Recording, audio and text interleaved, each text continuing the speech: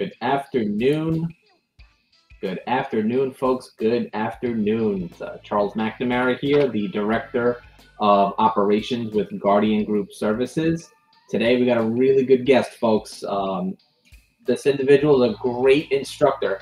Have been looking forward to doing training with them for a while, um, just because they've really been in this industry for a very long time. You know, getting to know the training staff, um, very important at Guardian Group Services. Uh, so our instructor today that we're going to talk to is instructor Anthony Kearney. He's got three decades, three decades in this industry. He's a seasoned professional with experience in fire safety, field operations, investigations, drug testing, court appearances. I mean, you name it, uh, Instructor Kearney has done it also um, decades of managerial investigations experience um, has a degree. We'll get into that as well from mercer college. And you know looking at the numbers i'm amazed. Instructor kearney has taught over 20,000 students with his career um, at guardian group services. So first and foremost good afternoon instructor kearney. How are you I'm fine, Charles. Thanks so, for the introduction. I'm, you're making me sound older now. Now I feel like I'm going to retire. Get my rocking chair out now. yeah, I, I, always get a kick out of introducing other people. I'm like, man, you know, look at this guy. He's doing it 20 years. Look at this girl. She's been doing it for 30 years, 25 years. And then I think about me. I'm like, oh man, I've been doing this for two decades as well. I got the grays coming in. That's why I shaved my head. oh, mine, I didn't have any more grays. I didn't want to lose anymore. So forget it. Just take them all so you you know I, I appreciate you taking the time to talk to me and our students because I know some are watching live right now. So hello, students, and some might watch later uh, after they complete uh, a training course with us. So you, you mentioned you wanted to talk about three things in yes. particular. Um, you know, starting out as a new security guard, which is really important um, and what the employer's expectations are. Um, really good topic. We're going to get into that. Um, I always tell people the job is not what you think it's going to be. Um, the other topic you wanted to talk about, which is really important, I think, especially for new security guards, it's a little easier to understand and learn this. Um, what are post orders and standard operating procedures? Hmm. Sometimes people that have been on a job site for a long time, they might get complacent or they don't know things have changed, or management has just never updated the books, um, which is really important. I'm, I'm, glad you wanted to talk about that. Um, and the third topic, which you mentioned, the limitations as a private security guard. Um, really, really, really, really interesting stuff because I always tell people the job is not what you think it is. Um, it's what your employer is going to tell you what it is. And it's important to know your post orders, and your job specifically. Uh, we're going to get into the details of you know the state training, what you can and can't do.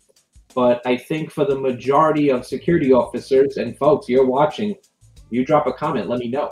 Uh, I think for the majority, you're going to be working solo. You might work with like a small team of people, um, but you always have a supervisor or a manager, somebody that you can call. But at the end of the day, you've got to kind of handle business right there on the spot, right? You got to know your job and what to do specifically. Um, you know, so one thing I kind of want to ask you, Instructor Kearney, what do you feel are common traits of a great instructor? I know that we have a hybrid. We do training in person, we do a lot of training online, but I'd love to get your thoughts on what makes a good instructor. Well, I would say that you know, it's it it, it, it happens over time. It's not an open it's not an overnight sensation, but when you can tie in, make you know, connect the dots from textbook knowledge to practicality. What happens in the field? What's the real world about? Right? Because mm-hmm. you read about it, and then you know you see videos, you see all these things, different things. Then you come to wait, hold it. Uh, I didn't see this in the book, or you know they don't t- they didn't tell us that in the class you know we don't want to have that experience for people not to know before my especially for me personally i don't want anyone to leave my class without having an understanding of what the job entails what they have to put in because you're on the spot. Day one, you got to hit the ground running. What does that mean? You got to be prepared for whatever. And I don't know whatever it is because locations are different, like Charles said. You could be in retail, you could be in a hospital, you could be at college, you could be at a university, you could be at a warehouse, you could be at a, uh, you know, outdoor, you know, events.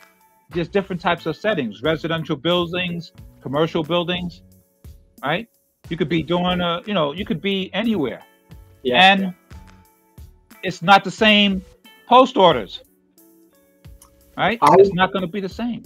I remember my first job doing security. Um, came right out of the military. I really didn't know what I wanted to do. I know I wanted to be a police officer, but you know I had to wait. I was on the wait list. So the first security job I did um, was at a warehouse. Mm-hmm. They had a separate building on the opposite side, which is a high-rise office building. Mm-hmm. Two totally different ways to secure a building.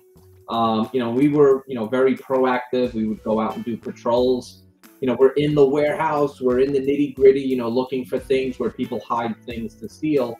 Um, but when I got to the office building, I, I just assumed it was kind of like the same thing. Like, yeah, I need to go check behind that person's desk and go in there. You know, did they steal a laptop or microprocessors? And I got in a lot of trouble my very first job because I, I never really read the post office uh, post orders, and I was just kind of afraid to ask questions because I'm like, yeah, I know what I'm doing. I was told, but I was told for that site not this site. Good, good point. Um, you know, so instructor Kearney, you, you know, you're certified, right, by New York State. You're a DCJS instructor, but I had the pleasure of taking a, a training, a train the trainer class with you recently. What mm-hmm. other things do you teach besides security? Oh boy. Well, I, I just I want to tell a short story about my first security job. Okay. Sure. Um, and I hope the Department of Labor from New Jersey doesn't come after me, but this was in 1966. My first security job, I was five years old. And uh, there was a factory across the street, I mean, down the street from my house on a dead end street called B&D, Becton Dickinson. And it was a security guard by the name of Jack that worked there. So I don't know, I stumbled upon it coming down the hill from my, you know, to make the left to go into my house. And I said, I just just walked in there, and the guy said, "Hey, where you going?" I said, uh, "You know, I just it was just looking around, little kid, right?" So then I don't know. I just got an acquaintance with him, and then what happened was I used to stop in there and see him before I go home. My mother said, "What? Where, where you go?" I said, "Well, I just went down the street to see the, you know, see Jack." She said, "Who's Jack?" I said, "Uh, that's the guy that's down there." She's like, "What? Who's this guy, Jack?" So it comes, she come to find out it's a security guard. So I got a job relieving Jack to go to the bathroom or go to get lunch. so I would run home from school, right, early, so I could, you know, meet with Jack and get home in time for Batman because Batman came on at three thirty or four, sometimes three, I think three thirty or four o'clock. So I had to run home from school, I went straight to the went straight to relieve him. Right. I don't know how it developed. Don't, don't remember how it all developed. And um, that was my first security job. And uh, he paid me. And uh, uh just saying it was off the books, folks. But uh, the Department of Labor don't come after me now because I'm not paying for all of those absent years that I didn't pay my taxes. but that was my first security job. I awesome. believe that. The people would say, well, where's Jack? I said, well, he went to the bathroom. Well, Jack went to the store. He'll be right back. Can I help you with anything? He gave me the he said he gave me the line. I knew the post order. He gave me the post order. I said, just say this, Tony. Just tell him that I just stepped out. I'll be right back. And tell him, you know, I just went to step up the street to the Geishans to get something and whatever and come back. And that was it. So that was my first house. that that is amazing. And, and, you know it's funny too because you know as we were just saying sometimes you know you're the only guard you're working by yourself and need a hand, and sometimes and there was no relief. I never saw all the years that I lived there. I never saw a supervisor come and relieve them. Mm-hmm. You know, so I, I think that's important too. You know, as a guard, you kind of have to understand, you know, how the operation works. Um, a lot of times, you know, you might be by yourself. Um, you might have to wait for a relief, a face-to-face relief, mm-hmm. to maybe get a meal, or maybe you know you're ending your tour.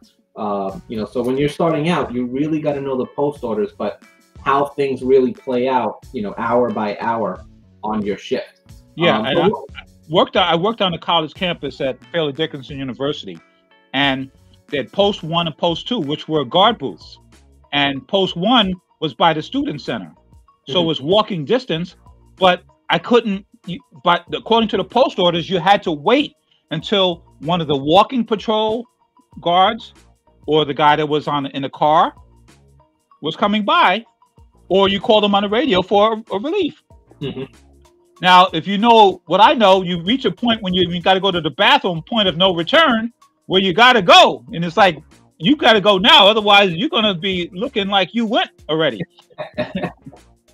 So, you know, And- I, That's the, and what happened was, if anybody to catch me going to the bathroom, I said, I called in for relief. I called the guy who was on patrol. He wasn't, he wasn't answering the phone. Called the guy, and the two guys, was two guys who were post three and post seven.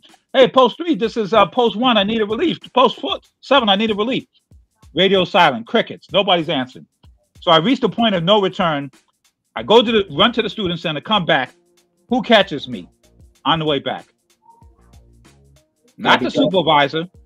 the director of security for the college campus catches me. Hey, what are you doing up post?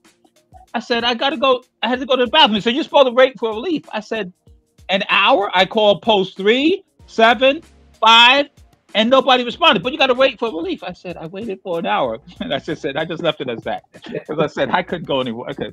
But yeah, you have to you know that there's post orders and procedures in place, but this was like a this was a different situation. This was just a different situation.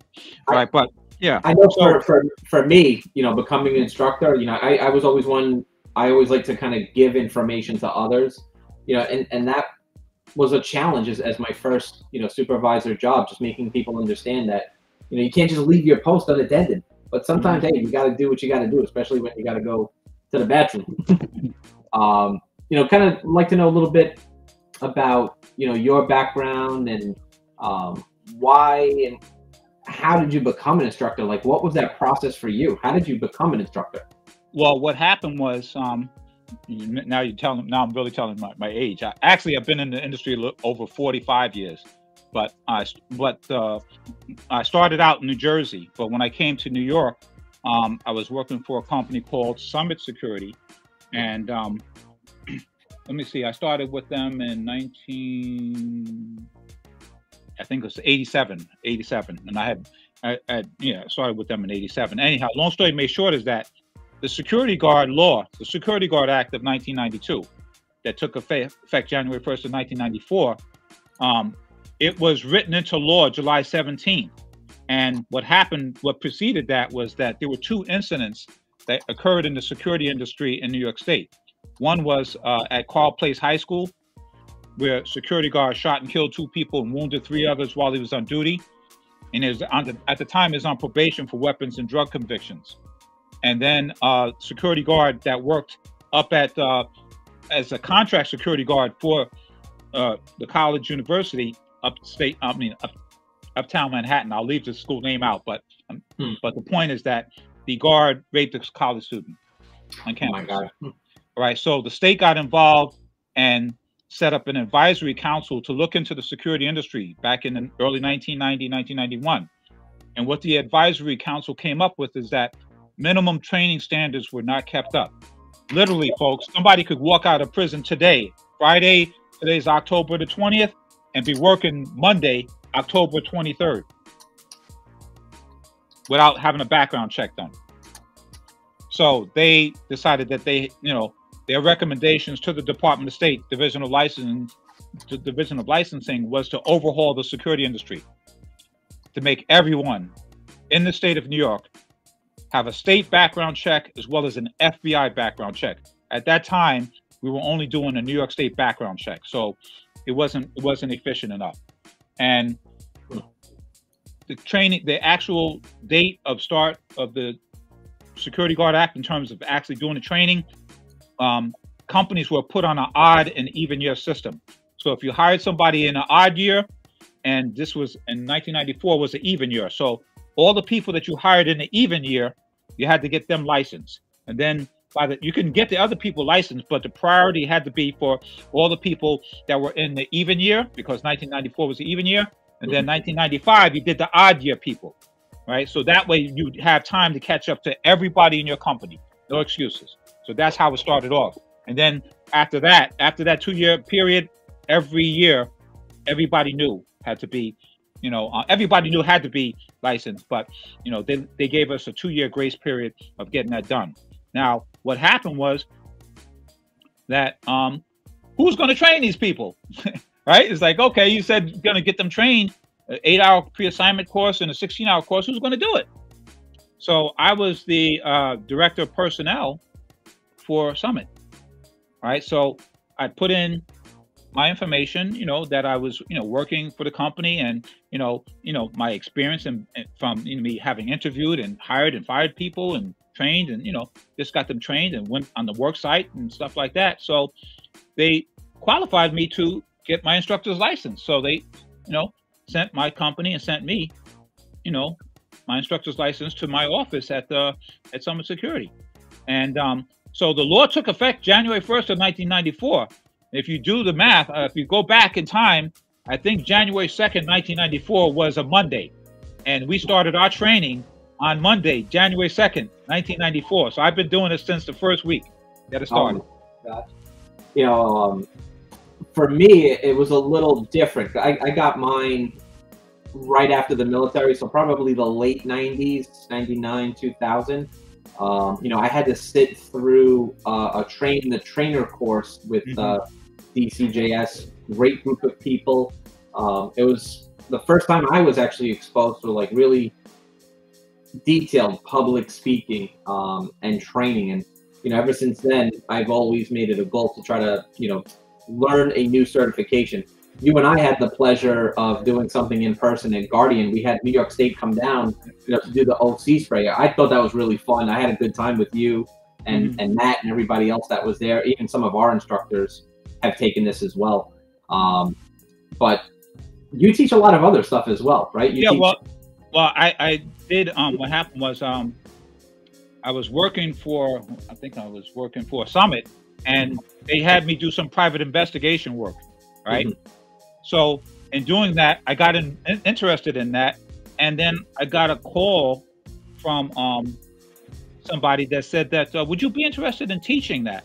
So it was SCI, Superior Career Institute. Okay. So so I got um, I got they well say well look you got to have certain certifications in like in like uh it's almost like a a, a training coach class.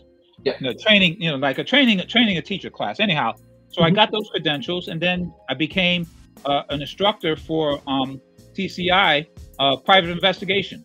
So I was teaching private investigation for them. Okay, so that's how I got that training. Um, and, and it's just like it's just like you, you come into the business and you never know who you're going to meet up with, right? Oh yeah. Right. Right. So also, uh, I'm licensed to teach uh, real estate. I teach real. I teach real estate too. I did not know that. I'm learning yeah, something today too. Real estate, you know, and what happened because I worked in it years back, and then, you know, um, a company that you know that I had went to classes for, I took, you know, and they said, "Well, uh, do you teach?" And I said, "No." They said, "Well, how come you don't teach?" I said, "Well, what is it?" Then I looked at it. I said, "Well," they said, "Well, you don't have. You just have to have enough credentials of teaching." So I put together all the stuff that I had terms of teaching, you know, teach, you know, you know, other places and stuff like that. And the, and the state approved me. I had to get hundred points, I think it is. Yeah. Hundred points. But and then I was able to teach. Then COVID hit, and then I just said, you know what, you know, it, it kind of like because the you know buildings closed down and so forth, and there's a lot of a lot of people not out there, you know, working doing it. But you know, um, you, you, hit something right on the head too. Um, you know, both of us have been in the training field and management field and investigation field for a couple of decades. But when COVID came upon us, you know, a lot of people were kind of like two different minds about it. You're right. People still needed training. You know, there was um, a lot of people saying, you know, I don't want to do this work anymore. And other people took full advantage. I'm home. Why not do some training? You know, we do it online. I know that you do the security guard program, you do the fire guard prep, you do the F80 you have an FLSD group that's going on right now. I think you're in the middle yes. of, right? Mm-hmm. Uh, so you're a man of many talents, and you know. Well, what happened to qualify? One of the qualifications for me that stood out was that um, I've been on both spectrums of security. Mm-hmm. I worked in the contract security side, right? And I know understood understood what you know contract security, but also in-house security. But the flip side to that is uh, alarm alarm security, alarm division. So I worked as a central station manager for Honeywell for almost four years. So I ran a central station. So everything that we're going through, the the the, the coordinator jobs, the F80s, the F90 S95s, the F fire, fire life safety directors, building management, you know, property managers, they all had to call the central station because nobody called the fire department when yeah. there was an alarm going off. They called me.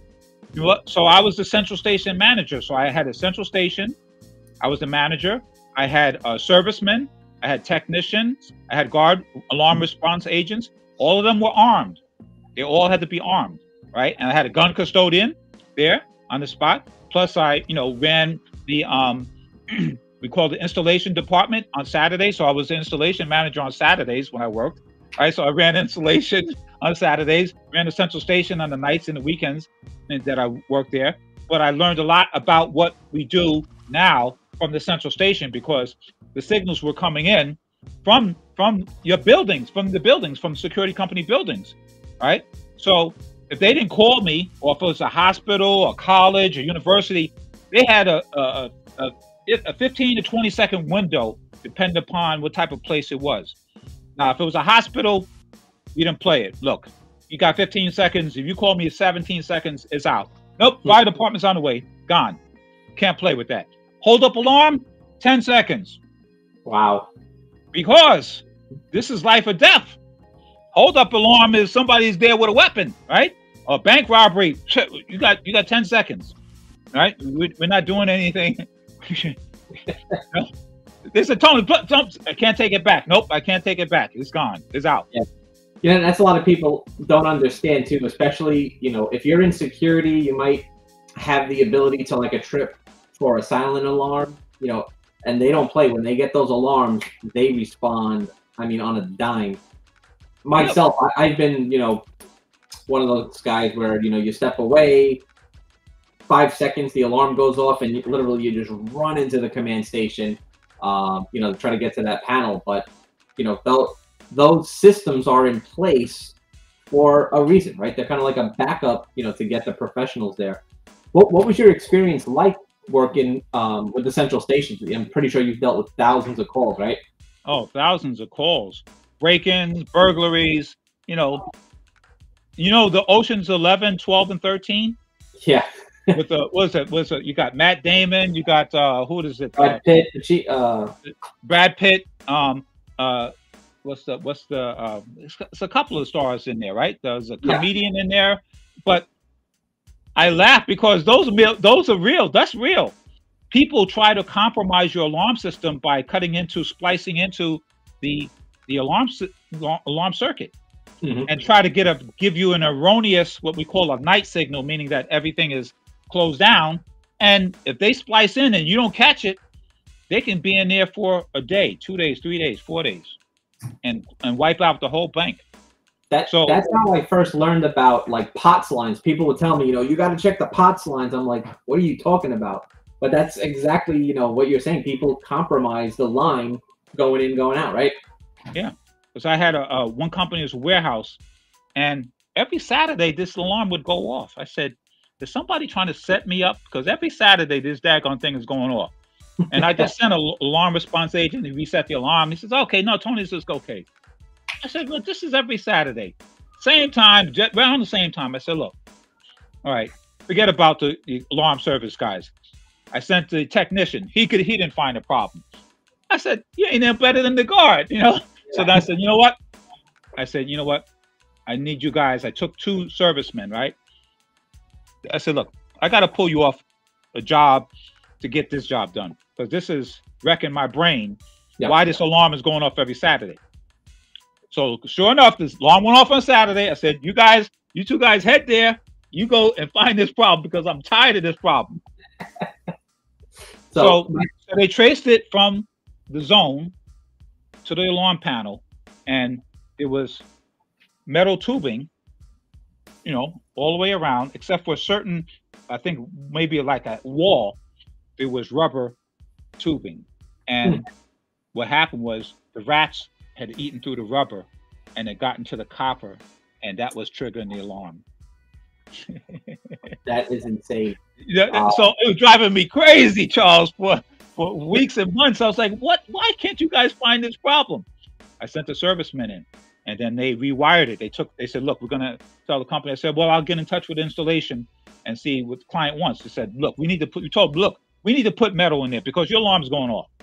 Okay, so we put, you know, put metal piping in there. So you get to understand, you know, what problems that they have in terms of, especially you know, folks, when you guys get jobs and if you work in a building and you come to understand that if you get into the fire safety side where systems have to go offline, well, you had to call me, Central Station, and yeah. let me know. Hey, Tony, you know, this is uh, St. Luke's Hospital. Uh, we, look, we're working on our standpipe system, working on sprinkler system. We're going to be offline. All right, all right, Joe. Let me know when you're back online because if I get him anything, is going out. You know that, right? So Joe has to tell me, Tony is back online, right?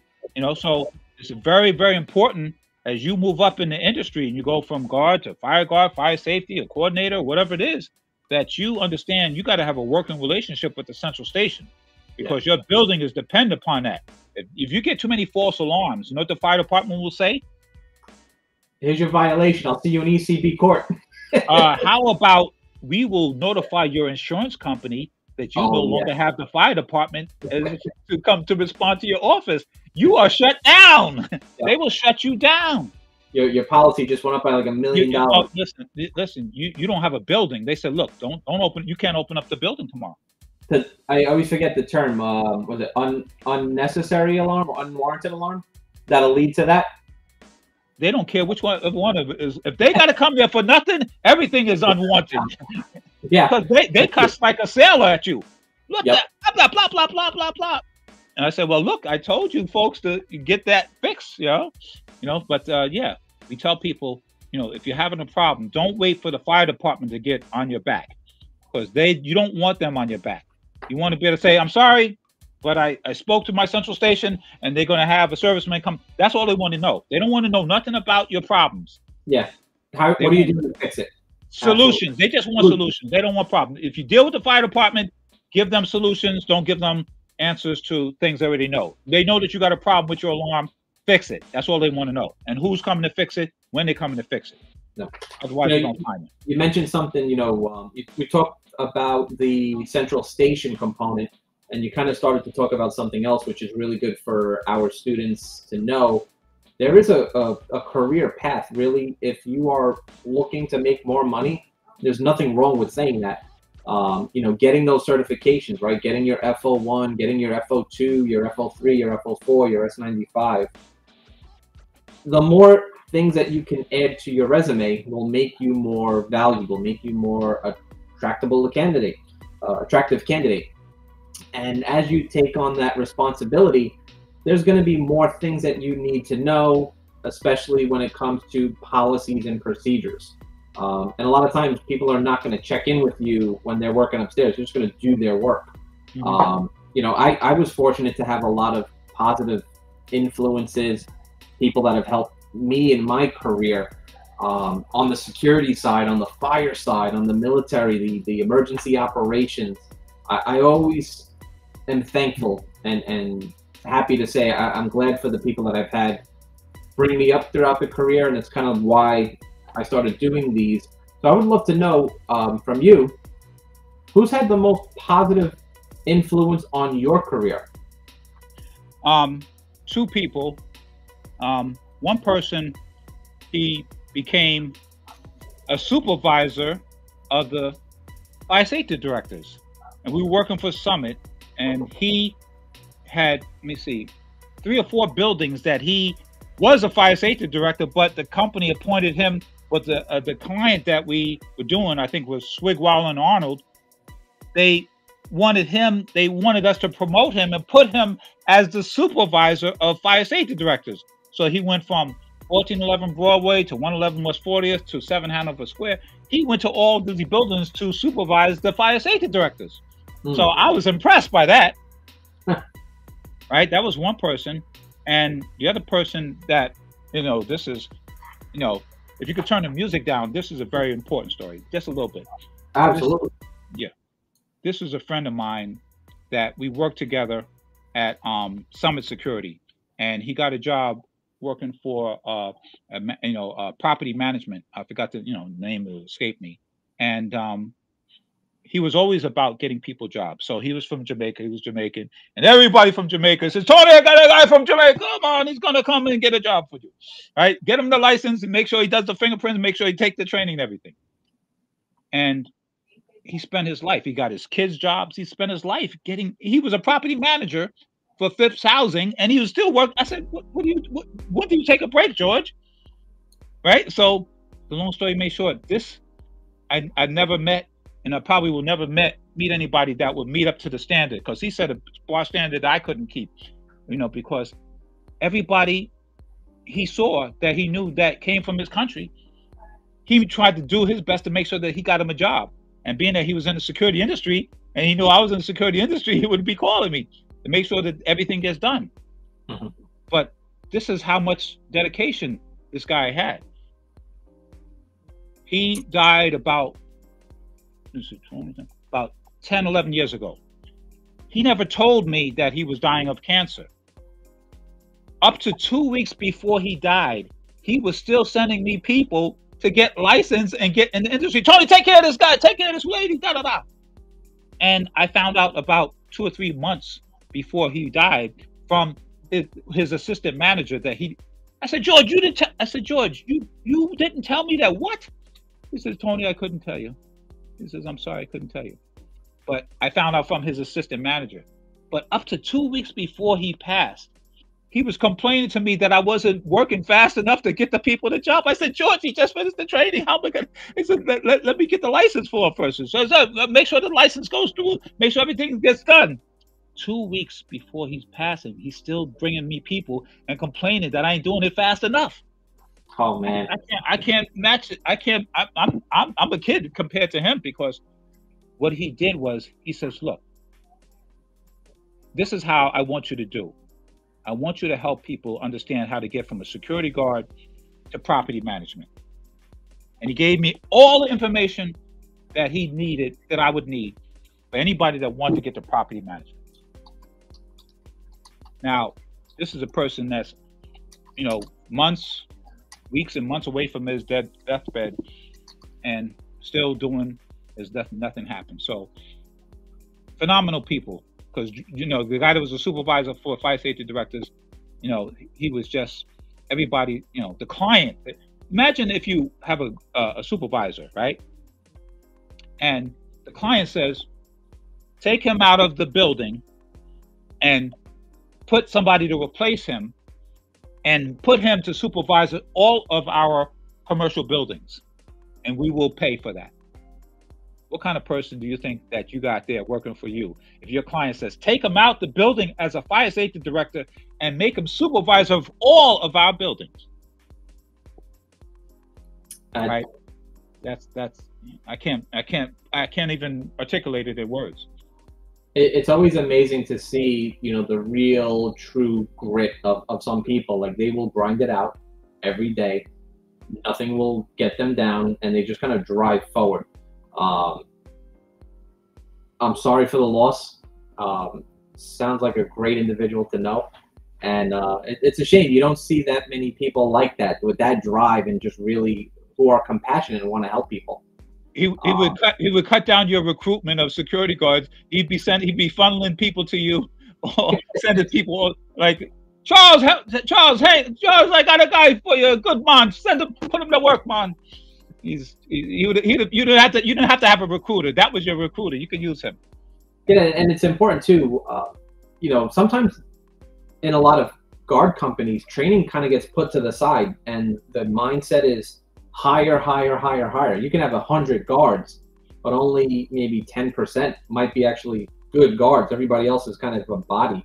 Um, so you know, I, I got a list here. What what I thought you know, what are important things that a security guard who is new they need to know? Laws and regulations, right? You need to know your company's policies, the client's rules and regulations. You're going to be the one enforcing them, right? So, yeah. you know, if you, you don't like to deal with people, this is probably not a good job for you because you are going to work with people. Um, some people might get under your skin, um, but some people might try to break a rule. Oh, I got, I forgot my ID. Come on, let me in. Or some people might be up to no good, committing a crime. So um, communication skills, I think, are really important for every security guard. You have to know how to talk to people, change your tone of voice, how to t- scale it back, and sometimes ramp it up a little bit, um, depending on where you work. Most importantly, observe and report. You've got to keep your head on a swivel got to pay attention to what's going on. You can't be looking down at the phone or um, you know be distracted, and you have to get in the habit of reporting. That is your job, right? Write things down and report. Um, you, this is really important. Um, I feel you need to be physically and mentally fit to do the job. Um, it's very easy to get out of shape. It's very easy to get stressed out in this line of work. Um, I'd love to know your thoughts, folks who are watching live. Put them in the comments. What are what are your top five? And the last one I will say, security technology. I know the way you and I used to do things has definitely changed. You know, you go around with the old Morse code watchman. Oh, oh, listen, that was the birth of Flavor Flav. yep. the big clock. I tell people, I said, I give them the analogy. I said, you know, Flavor Flav. Everybody said yes. I said, well, that was our technology. We had a Detex clock, and you put the key in, turn it, and then it then it puts the it types the on the page on the tape inside the clock what time he was there. I said, I'm, I'm trying to find one of those. Uh, I've looked on eBay and, then Google. Probably, I can't find a good working one. They're probably buried in some some some bay somewhere. They're, they're gone. They, are like no. It'll probably cost a hundred dollars to ship. That thing is going to be so big. Yeah let things in the past. yeah, yeah let, let, it. You know, people say, "Man, you're old, man. I don't even know what a Detex clock looks like." uh, but, so it was, but it was accurate, though. You got to, got to, you got to know that. Oh yeah, oh yeah, and you know you got to stay up to date with trends. You know things change. A lot of the things now are QR codes. They just scan them. Um, but security technology changes, and we got. Oh yeah. Change. Well, you know, I mean, just with the Security Guard Act, um, we didn't ever think back in the 1990s that we'd be talking about terrorism and topics like that.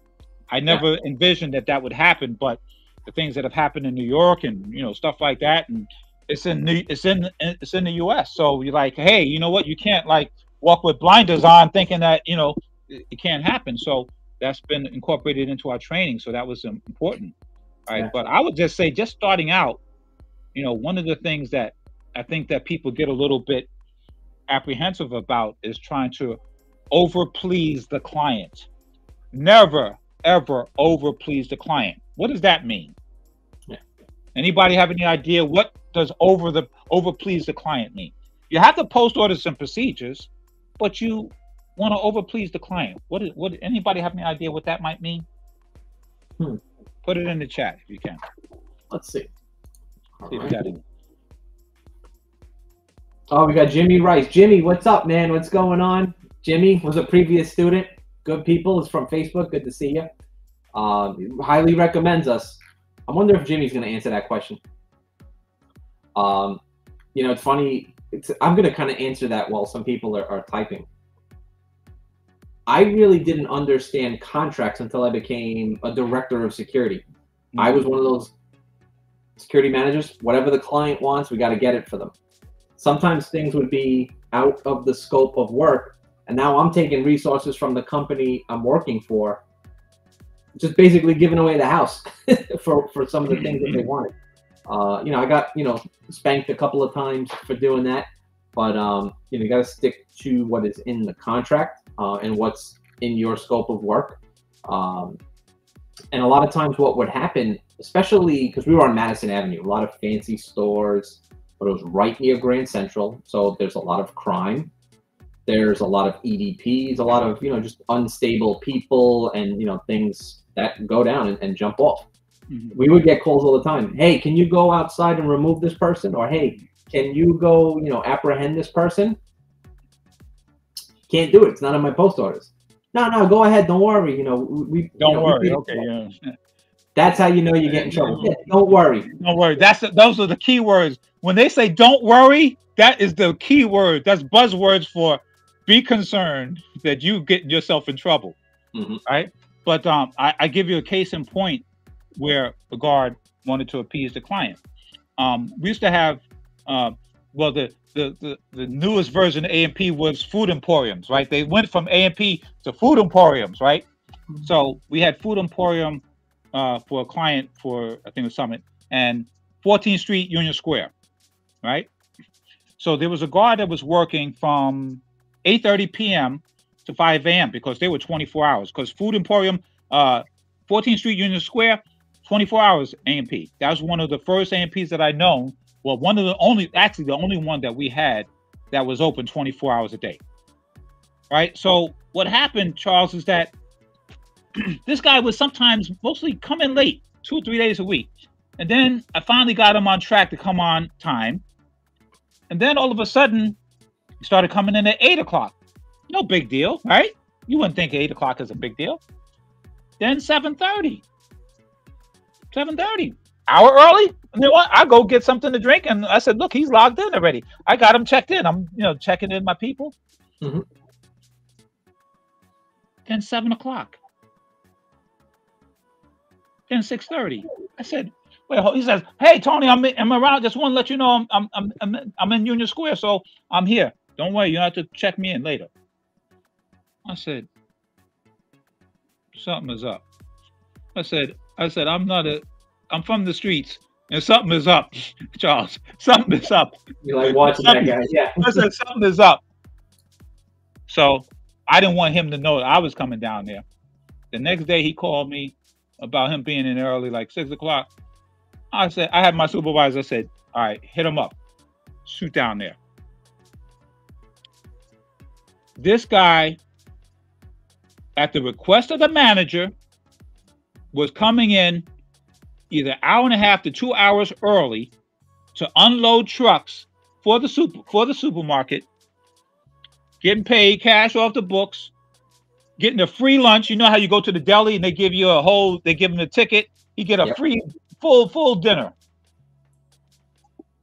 Two and two and a two two to two and a half hours early, working unloading trucks before he started his security shift. Hmm. Now he did all of this to appease the client, but he was getting some compensation for it.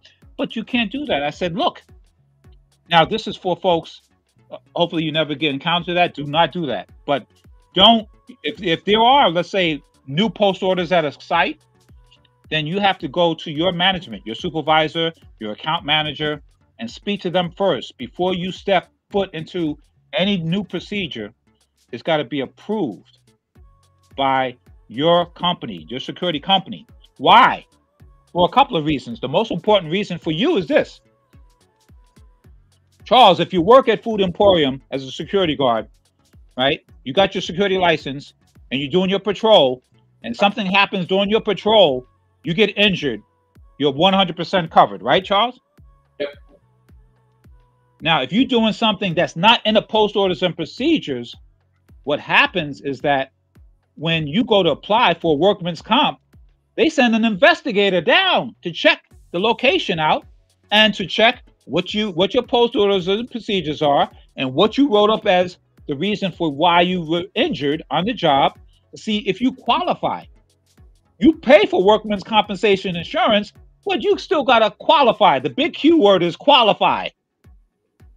Right? So if you get injured, right, on the job, like this guy was off the job, so he wouldn't have gotten paid for that. But if the manager told you, "Hey, I want you to push carts in the store, right? Push shopping carts," and you happen to push a cart and slip and fall, and then they go and check the post orders, and they say Anthony Kearney was on duty. He was legally licensed, licensed security guard, assigned to that store. That was his schedule. He was working there. He wasn't intoxicated. Nothing wrong with him, but he's disqualified. We looked at his post orders and procedures. and nothing in there states that he is supposed to be pushing shopping carts together. So he is now disqualified from getting disability insurance. So that's how you lose. Now, what you're supposed to do, not say, hey, I don't want to do this. It's not in post orders and procedures. No, don't get into a conflict with the client. Say, uh, before I'm able to start any new post orders and procedures, I got to check with my uh, account manager, uh, Mr. Uh, Charles McNamara, uh, to make sure that we put it in properly and then we have proper documentation of that. It's, That's what you do. Or have my I'll have my supervisor or have my account manager call you, but I will let them know that you want this uh, to be instituted as soon as possible, and they will get back to you. It's That's so it's so funny you say that. I mean, literally something just came right back to me because that would happen often, especially in like inclement weather, especially with snow. Clients would say, you know, listen, nobody's coming in. We only got, you know, uh, one guy on maintenance. Can can the guys come out and help shovel? I would always want to help, but I remember from experience, someone else, a security guard, went outside to, to help shovel, um, and they they literally, the older gentleman just threw out his threw out his back, slipped and fell, and I mean just really got messed up and wrecked. Um, you know, had to have an ambulance, and when they tried to go, uh, they tried to go to workers' comp and just take time off. Um, it, it kind of jammed them up because they had video. It's not in his post orders. He just wanted to be helpful.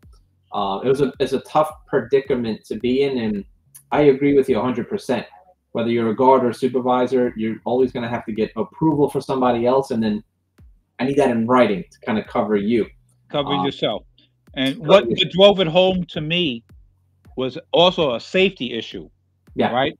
That you assess the safety like for example there was a guard i guess between 10 15 years ago working at what walmart in long island and it was uh what is it it was coming up on that day right day, right now i'm i'm not i, I don't want to sound biased but you know there's not too many guys that's getting up at three o'clock in the morning to get that first uh, toaster or whatever it's a, or free tv but change times have changed but the situation was that one guard in this, I think it was in Nassau County, and yeah.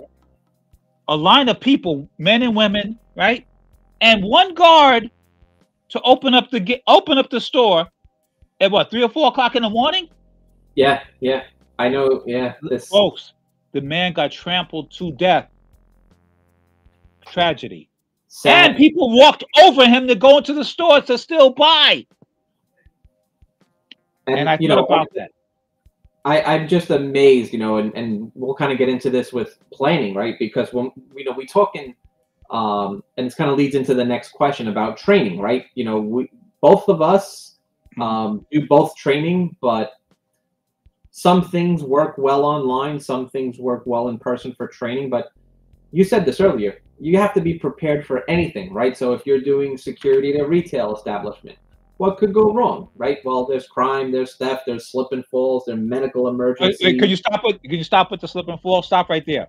When we did the in-person class, I demonstrated the slip and fall and how they could get how they could get sued. People like people do that. I said yes, they do. They're grimy oh, yeah. like that. So oh, that yeah. was one thing I miss. I miss I miss the personal interaction sometimes because when people say, "How do you know?" I said, "This this can happen to you."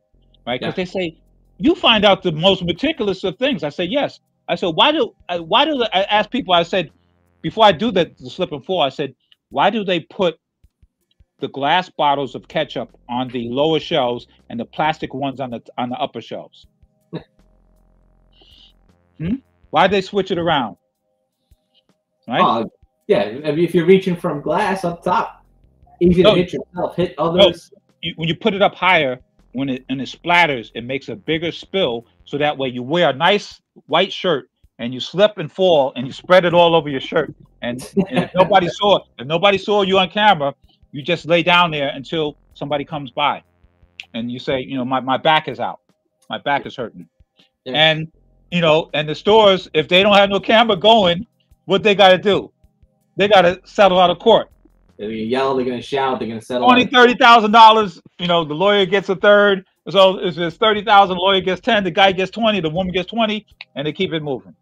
But people say, "Well, how do you watch that?" I said, "Look, there's a lot of different things. I said, do you know about the person that's the um we call the backdoor shoplifter? They said, who's the back? What's the, what is you talking about? What does that mean? They don't know. I said because we created these terms for us so that we know, you know, like, okay, Charlie, Charlie, he's a backdoor. Yep. Right. Now the backdoor shoplifter is this. That person wants to most make the most amount of money, the least amount of time, and the least amount of effort as a shoplifter. Now, how do they do that? They don't go into a store and pick, put something into their pocket and conceal it and try to get past the cameras. No. they capitalize on people that come into this country. We call them with the T. What's the T word? The, the T people. Tourists? Tourists. Tourists. Tourists. Because you never heard of broke tourists, have you? No. Right? You never heard of broke tourists. They always come here with money. Yeah, of course. Yeah. So so when they go from one store to the next store after they buy stuff, right? They they accumulate bags, right? If they went to Lord and Taylor's, then they go to Saks, then they go to Bloomingdale's, whatever, whatever, right? At some point, they're going to get into a store where they're going to see something, and that four-letter word throws men and women into trance. What's it in the store? It's that four-letter word. Sale. Sale. so when they see that sale, all they got to do, Charles, is drop one of those bags put it down and then want to try on a shirt, a jacket, or something, and put it up to see. And when they drop that bag, that person is watching them wait, walking in the store, following behind them, grab that bag, walk out the door. Is that alarm going to go off if they're in Bloomingdale's and they got a Saks Fifth Avenue bag? Is it going to go off? No. Most amount of money, least amount of time, least amount of effort. I got something that came from another store paid for, got the receipt. I'm good. How much risk do I take, Charles? Not a lot. Most people don't want the risk. They just want to get in and out. They don't want to be stopped. They don't want a barrier. They want but you got tourists, Charles. This is like being in in in the, in the apple grove. You know, it's like you, you you you get your pick of the tourists because you see them coming in with bags. Yeah. So we have to watch the tourists. See that they don't put their bags down. I said because I had to tell you know stores some of the stores we used to do training for in the high end stores says look you got to look for the backdoor people. So what's the backdoor people? These are the people that are going to prey on the tourists. They're not mm-hmm. gonna they're not gonna rob the tourists. They're just gonna wait for the tourists to put the bag down. They're gonna pick it up and keep it moving and walk out the store. Yep. He said, yeah, well, I never thought about that. I said, Well, don't become a criminal. I'm, Mr. Kearney is not here to teach criminal. I'm not teaching criminal one on one. I'm just telling you what we look out for. But you make a great, great point where you know we kind of have to keep an eye on all of the the things that have happened, so we prevent them from happening. You know, you, you know, we talked about this earlier. How many have you trained over the years? Tens of thousands of students. How, how do you stay up to date? Um, you know, what would you recommend for continuous like professional development um, for somebody else who's a new security guard? Sometimes you got to look at you got to come out of your comfort zone of work and security because you get locked into one thing. But when you, you experience a little bit, I'm not saying you have to do all of these things to get skilled, but sure. when you find areas of security that you have an interest in, you're going to see the quality of your work jump up. Right? Sure. Right? Teaching, I like, te- love teaching. And interviewing, I've been probably interviewed about 30 to 40,000 people for jobs. Wow. Right. You know, so, uh, so people come in and I can tell that they're nervous. I said, look, uh, I'm going to get some water. I'm going to sit down, relax. I see people coming and shaking. I said, hey, I'm, listen, um, I'll be right back. Hey, relax. And some people come in and they couldn't, they couldn't, you know, I said, what's your name? Where you live? How long you been living there? Right. And then I just change, change the subject. So, okay, so you've been living there how long? Okay. So you put your address down on here. You still live there? Then I just go into it and just take them off their mindset. Like, where I live? They, that's it's easy. Where I live? How long yeah. you been living there? I just take them out of the the context of nervousness because I can see that they're nervous. All right.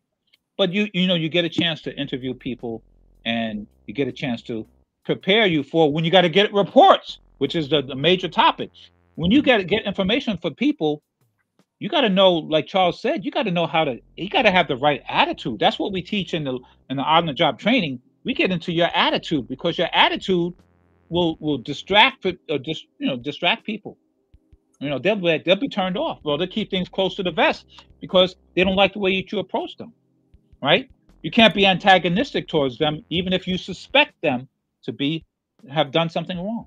You still got to you guys still got to open ask open ended questions. No, I, I totally agree, and you're right. It's the asking the right question. You know, you don't want just like a quick yes or no. Um, you want to ask a question where they're going to have to kind of engage and not blow you off. Um, you know, there's so many resources out resources out there, folks, and there's a lot of free things as well. Um, so if you take training with Guardian Group Services, you know we talk about it in our classes in the pre-assignment and the 16-hour. Um, there's a lot of free resources out there that you should take advantage of. Um, Instructor Kearney, I'm going to end with this last question. What has been your most memorable class so far and why?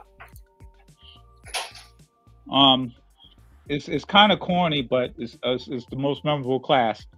Be, before COVID, um, uh, was a, probably one of the last, next to last classes that we did before COVID because we didn't know COVID was coming, and so uh, lunchtime. This is very rare, but all of the students went out and they came back. They left out for lunch. Now, normally, I've never seen everybody go out for lunch, maybe one or two, but mostly, but they didn't come back on time. And it's like, what, what, what happened? No, what's what's going on? Right? Because I was like, that doesn't sound right. Like everybody left, and then everybody, nobody's back. I'm like sitting like, where's everybody? I didn't, I didn't call no nobody. I said, I didn't say nothing to Bruce or nobody. I said, where they at? Something's wrong. What happened? What what did they? What they didn't like me or what? I don't know what happened. So they came back and they brought me a thank you card. So they had to have everybody sign it. So that was uh, well, it's only a few minutes, but I was like, I didn't see nobody. I'm like, wait, hold it. They know what time it's supposed to be. Mr. Kearney said, come back at this time. I'm looking at them. I'm like, I'm gonna blast all of these kids, but they don't get back on time. And they came back and gave me a you know card saying thank you. We like the class and da da da. And they had they had to sign it outside, so they wanted to do everything outside the classroom. They didn't even do it in the hallway, Charles. They did it down outside. Because I'm looking, I'm looking outside, looked out the hallway, nobody there. I said, how could all these like 20 something people, almost 30 people, where how come none of them is there? I know for me, um, I've had students that I've done training for five and 10 years ago come back and email me, or I just, you know, I run into them in, in the street or catch them on the train and they're like, yo, the, the training helped me kind of advance, double my salary, um, and those are stories I always love to hear um, because I think that's why we get in this field as instructors. Um, we want to kind of be the facilitators to get information, to mm-hmm. help people get licenses, to, to kind of better themselves. Um, so, you know, it, it's always nice to get a good instructor, someone who's going to really facilitate information. Um, you know, in your classes specifically, you do really good role playing sessions report writing sessions to make it kind of click. Um, you know, so sometimes an instructor will just babble and babble and be extremely boring. And you know, yeah, you're I, not. I, I, no, I, I wanted to piggyback on that because I can tell you, I'm, I won't mention the company that I work for, right? And I was actually working full time, and I was doing training for this company on Saturdays.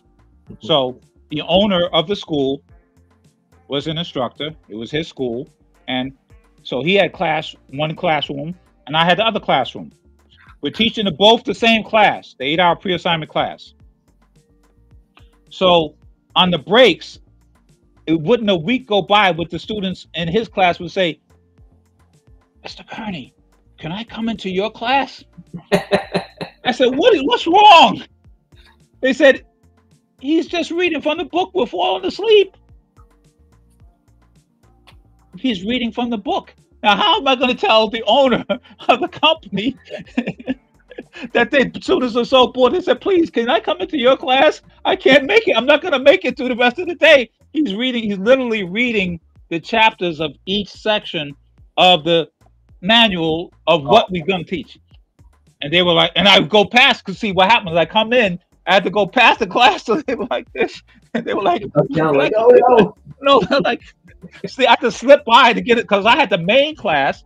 He had a smaller class, and they would come on the morning break, the afternoon break, and said, "Please, can I come?" I said, "I, I, I can." All right. So with that said, right, I appreciate you, uh, Instructor Kearney. I always like to end these with a little bit of fun. I'm gonna hit you with a bunch of questions, and they're this or that, um, rapid fire. I'll give them to you. You just tell me the first answer that comes to mind. Okay. Okay, got it. fun at the end. When it comes to snacks, sweet or savory? Uh, savory. Savory. All right. Are you a morning person or a night owl? Um, both. All right. I stay up late. Sometimes I gotta get up early. Uh, meet your favorite actor or meet your favorite musician. Um, probably musician because I like music. I like Oh, actors too, but uh, actors. I see actors. I'm like, I, I'm not into the, the celebrities. I'm into music. If they, if I meet a musician, then that's gonna be different. Absolutely. Okay. What about uh, books or movies? Um, shoot, man, you're giving me hard things to do. Uh, the, uh, I I will read old books, and I I like to watch old movies. So I'm I'm into both of them. It's like it's kind of like hard because if I get a book and you say, hey, you read this book, you're gonna like this book, I'll read it. And then if you say, hey, watch this movie, I said that movie is 30. I was Charles before I, I used to have cable, right? But I used to watch movies from the 1920s. I said, "There's something wrong with me." I'm watching, you know, you know, James Cagney when he was young kid. I'm watching these movies, but I like them. And I was like, nobody's gonna watch them with me because my kids are like, "You're crazy, Dad. You watching? What is that movie?" I don't even. Those people so old that the movie's so screen. You know how the screen is has the, the scratchiness on the screen. They said, "What are you watching?" I said, "I'm watching." Uh, such, such oh gosh, they like, Dad, please don't. but All yes, right. So let's say um, you get put into a movie. Are you a superhero hero or a villain? um, I I'd rather be the superhero guy, help people out. Okay. Uh, sports. You prefer baseball or football? Um, see, baseball, I was concerned about because I didn't want something not coming at my head at 90 miles an hour. So I said, well, football, if I miss it, it's not going to have that kind of speed. If it hits me in the head, I'll be all right. But a baseball hit me in the head. I've seen too many pitchers, you know, the, you know, the dust somebody or you know, like that guy just hit a home run, and then the next time up, I said, uh oh, here it comes. Let me, I mean, how how many? It's going to be 100 miles an hour, 110. So I said, next- no, Yeah, football. always pays the price. I was like, yeah. I said, no, football, baseball, no, baseball. I, I, I like the baseball, but I said, no, I wouldn't. See, I would be that guy. I don't know if you watch any of the players that would get mad as hell with that baseball bat because somebody throw a baseball at my head at 90, 100 miles an hour, a brushback, and you hit me. Oh no, no, no! I would not. I would not. I would not have survived Major League Baseball That'd be a because I would not have. I would have been. It would have been a wrap. No, you're not hitting me in the head with baseball. Chess or checkers? Um. I don't know too much about chess. I know to, I know how to play it, but I, I I really wasn't so much into chess and checkers. I was like, you know what? Okay. I was into, into physicals, you know, like this games, this, brain stuff. I, All right. Um, what do you think is more important? Always being on time or always being right? I don't think anybody is always right, but uh, always being on time is something that you you got you got to strive for. You got to strive, especially in this industry, because guess what? You ain't always gonna be right, but if you're always on time, I bet you keep the job more than the person that thinks they's always right. Awesome. And the last one, most importantly, would you rather reward people for being good or punish people for being bad? um i like more rewarding of people right because you know when you got to take away somebody's job i mean being a director of personnel you don't want to take away someone's job Yeah. and so we give you warnings but there's so many warnings you can give because you can jeopardize the client your your account Oh, by yeah. giving someone too many breaks. So you want to encourage people to, you know, do the job. You know, as Charles mentioned earlier, commit to memory the post orders and procedures. And if you don't an- understand, ask questions, but get the answer. And if you don't can't do it yourself, because it's outside the scope, make sure you get the right person and you won't go wrong. Right? You won't be on the bad side. You always be on the good side. Even if you make mistakes because it'll be a mistake that you made because you know um you didn't try to do it yourself, but you you know just need to know a little bit more about the job. And that's okay. You get a client that will go along with that. No problem. I, I agree with you a thousand percent. You know, if you own up, hey, I made a mistake, you could always learn from it. But if you lie and hide it, no good. Instructor Kearney, thank you so much for uh, for joining us. I just want to thank everybody for tuning in, watching this episode, um, getting to a chance to meet our instructors. Drop a comment. Let us know what training you would like to see us do in the future. Uh, always check our website out. We have everything listed there with the dates and the times. Stay safe, stay alert, stay alive.